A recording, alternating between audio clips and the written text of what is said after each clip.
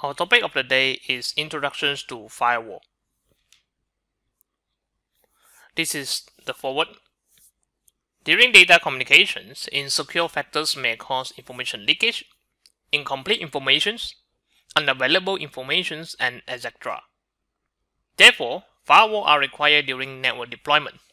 This course introduces the history, features, typical networking modes, application scenario, and technical specifications of Huawei firewall. The objective of this topic is that when we finish this topic, firstly, we will be able to understand the basic concept of firewall. Next, we are going to see as well the firewall security policy, followed by a list of uh, command for the uh, security policy configuration.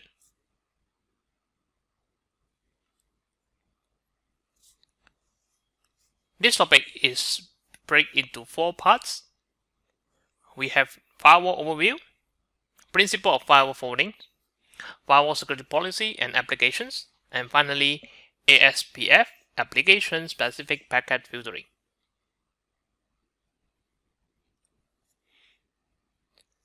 Firstly, we are going to see the firewall features.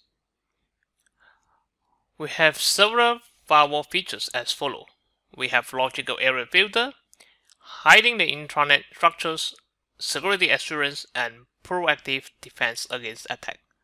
All these features over here are basically some basics firewall should have. Firstly, let's talk about the logical area filter.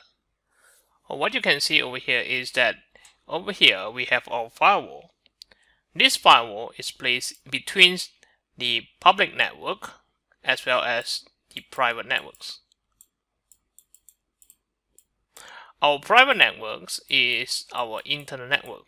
Usually it is our trustworthy domains, whereby the public network is the one that is not trustworthy. So firewall can based on this particular uh, different in terms of domains and area come up with an idea on how to set up a logical area a trustworthy logical area as well as untrustworthy logical area. Then we can actually apply a certain security policy across this area. So this is what we call as logical area filter. Next, when we actually have the firewall act as a filter between the uh, extra net as well as the private network, the internal network or we call it as intranet structures, will be hidden behind the firewall. Nobody from outside of network able to determine the network architecture that we have in internal. This will actually provide a security assurance to the internal user. Apart from that, firewall also come out with some uh, basic defense against some most common attack that happens nowadays.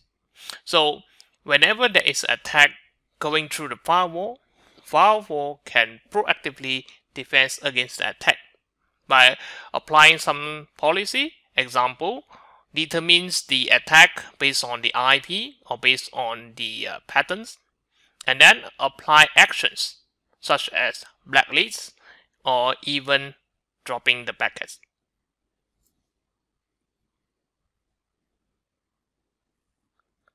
Now we are going to see the classifications of firewall.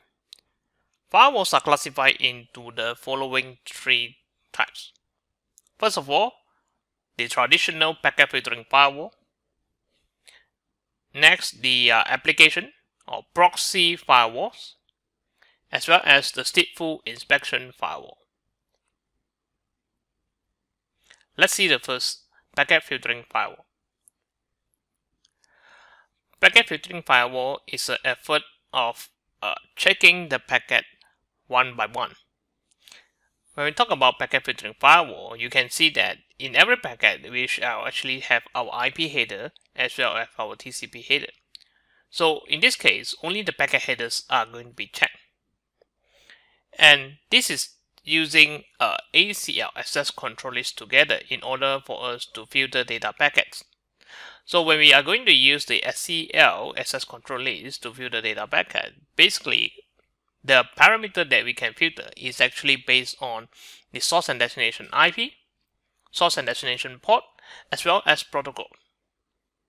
However, with this packet filtering firewall, we have issue to actually check the uh, internal payload of the packet. Since the ACL is used to do a matching, any sort of payload that is carried by the packet is unknown. Therefore, we are not able to associate with our data packet. Next, packet filtering firewall also unable to adopt to multi-channel protocol. Examples such as FTP, File Transfer Protocol. FTP File Transfer Protocol is using uh, two different channel, where the first channel is to establish the TCP connections, and another channel is for the data channel. So if let's say the TCP protocol channel is enabled by the SS list, while any subsequent data protocol traffic that travel under the data channel will be allowed as well. This will actually make the uh, firewall itself unable to identify the payloads, whether it brings any harm to the network. So therefore, this is also something has to do with our uh, data, whereby packet filtering firewall only uh, effective on the packet level. Next, we see the proxy firewall. Now, proxy firewall is actually uh, what we call as the application firewall as well. Now, in this prox uh, proxy firewall, you can actually see that the proxy firewall itself serves as the uh, middle device, okay, the intermediate device between our PC, which could serve as uh, one of the uh, trusted domain, okay, to the internet intranet server. So every time when there is uh, traffic going across between the PC and the server, they has to actually go through the firewall. So proxy means that the uh, inter uh, intermediate person or intermediate device in this case between the uh, communication. Now, with this is what we have over here. We actually can uh, check the data packets as well as the payload that it carries. However, the disadvantage of this proxy firewall is that it actually will have the issue of slow processing. As this is highly dependent to the uh, implementations of the uh, software that we have, as well as uh, resources of the firewall. So therefore, this proxy firewall is actually quite vulnerable to attacks examples such as DOS attack, the denial of service. Apart from that, the application layer proxy firewall also need to uh, specially design for every different kinds of protocol. So when we actually design this particular uh, proxy uh, firewall, we might actually take quite some time. And therefore, you, we actually need to allocate a special resource in order for us to use this particular proxy firewall. Hence, if let's say there is any sort of uh, incoming new protocol or technologies, we will have a difficulty to upgrade our firewall in the short time.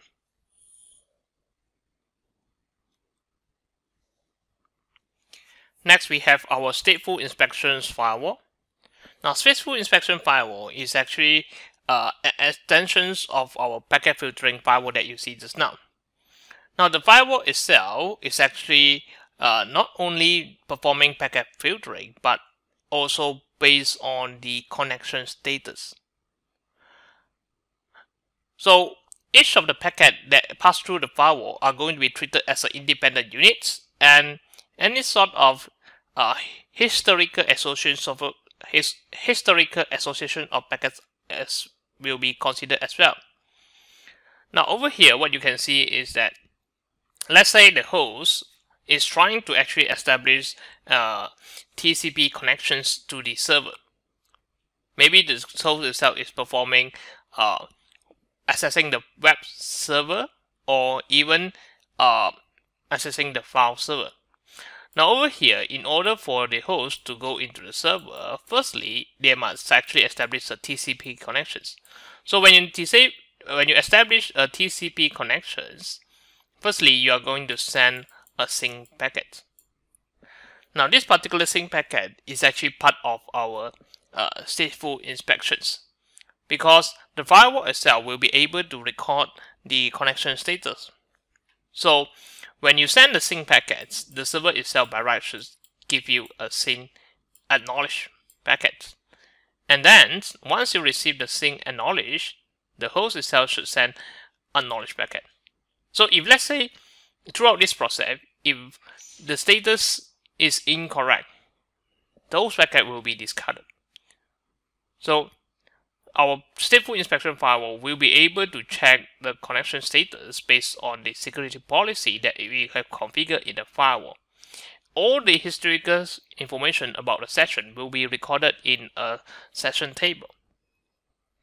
This stateful inspection firewall is also suitable to be used in uh, TCP sessions as well as UDP sessions.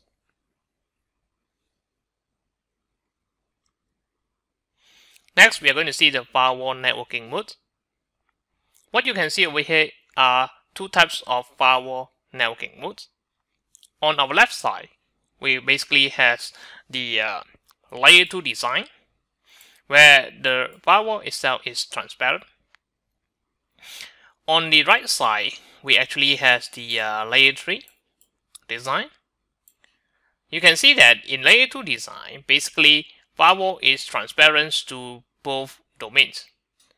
Therefore, uh, in layer 2 design, firewall will not interrupt the original or existing network IP scheme in the environment. In layer 3, layer 3 is basically allow the firewall to run on a different IP network. So the firewall itself perform routing on the intranet and internet. So as a router. So in this case, the firewall will need to support some layer 3 feature example uh, like NAT, network address translations, as well as UTM, Unified Threat Management.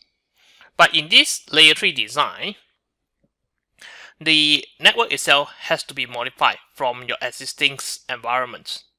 So regardless whichever networking modes we are going to use, regardless it is layer 2 or layer 3, uh, a careful consideration should be uh,